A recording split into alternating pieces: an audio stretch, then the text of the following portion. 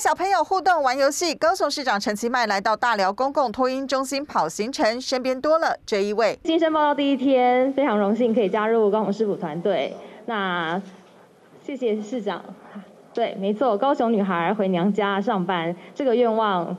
想想了十一年，那谢谢市长帮我实现这个愿望。初试提升，好，那以后再跟那个燕青的标准一样严刑拷打嘛，欢迎大家。同样是北漂多年的高雄女孩，高雄市政府发言人再多一人。市府团队就是两年拼四年，那在这段期间已经推动了很多市政的成绩。那我接下来就是希望能够协助市府的发言以及加强市政宣传的论述，希望能够替高雄来加分。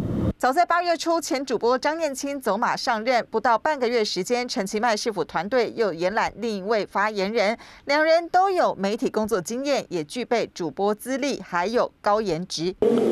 我们都不是大家了，大家了哈，都不是以外表取胜了。陈其迈拼市政打选战，持续延揽心血跑市政行程，两位市府发言人随行，随时掌握议题脉动。国民党高雄市长参选人柯志恩的发言人团。这一位也很亮眼，他希望能够放眼国际，然后呢，让更多的年轻人能够参与我们高雄的国际的观光。曾经表态有意愿投入凤山立委选战，广播节目主持人斜杠柯志恩团队发言人，柯志恩跑行程，李明选把合照 PO 上个人粉砖，人气很旺，蓝绿阵营都延揽高颜值发言人，成了彼此的团队亮点。